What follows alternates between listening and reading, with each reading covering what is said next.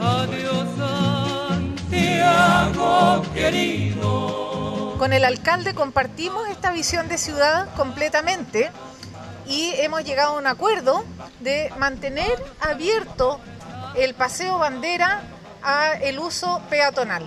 Estamos transformando esta ciudad, el casco histórico, en un centro amigable al peatón. Y queremos seguir trabajando en este Santiago más humano, este Santiago amigable con el peatón. Queda mucho por hacer sin duda, pero este es un paso importante. En la calle Bandera, alguien me espera.